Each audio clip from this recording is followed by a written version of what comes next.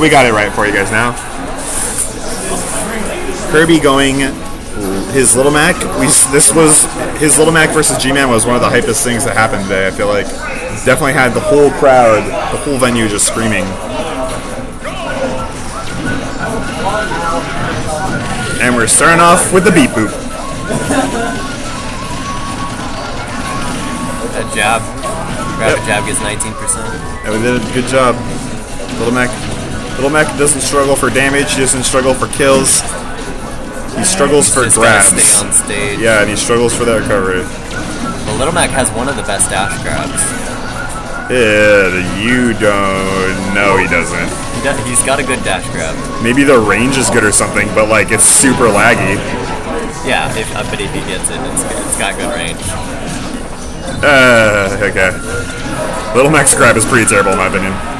Oh, but that forward smash Yep. take the first stock. One nice read. 59%. It's actually the same read he got to get that uh, forward tilt on Ness in that previous set. Alright, ding ding, we got the KO punch. Let's see if he can do anything with it.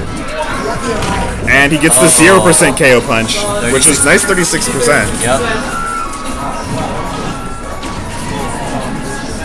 If you heard it happen before it happened, that's because we're working with a little bit of lag here, and the mic probably picked up the main setup.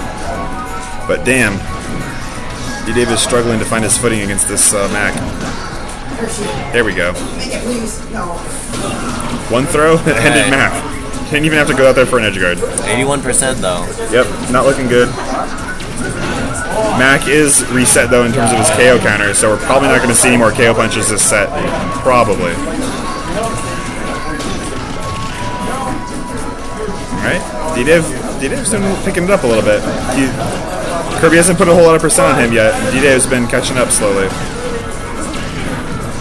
Nice snare. And another beat boop on that. Beep, boop, beep, boop. The tip of that rapid jab. Yeah. But ROB is definitely the kind of character that sucks at smash dealing out of stuff. Wow. D-Dave sandbagging a little. One thing he's been struggling at too is landing. Oh, wow. Alright. Cirby takes game one.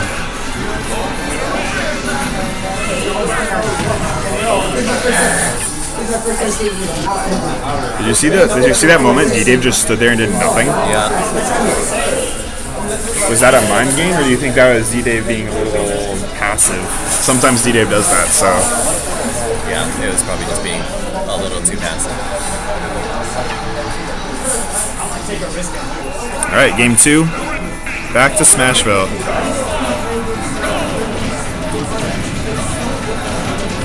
More rapid jabs right off the right off the gate, right out the gate. You see Delicious Dave landing a lot with Nair. Yep. It's one of his only options because he's so.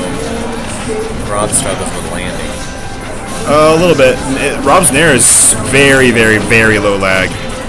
Like it's definitely safe on Yeah, shield. it's definitely the best option for his landing, which is why you see Yeah, him doing it. so one of its. Oh, good, good read on the um, the get up. The he missed the tech and he read that rollback. Oh, wow! And he Gets gets, the the, punch online, Yeah, with the stock take. We're Now, gonna see the same situation as last time. This is it Quick 36%. perhaps, or if he can get just get like 13. Oh, nope. Nope, he loses it. Oh, good job air dodging that.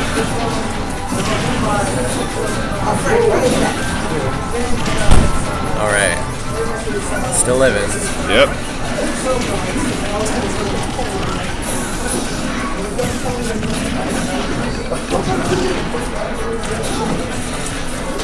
Oh, and he Oh, catches nice. that. G-Dave tried to go high, but Mac has that up B sometimes to catch people off guard when they go above him. Oh, and he just Stage stage spike with the down smash. Wow. You guys got one more game. Best of five. And D-Dave D-Dave forfeits. forfeits the Cirby takes it in a 3-0. And we got grand finals.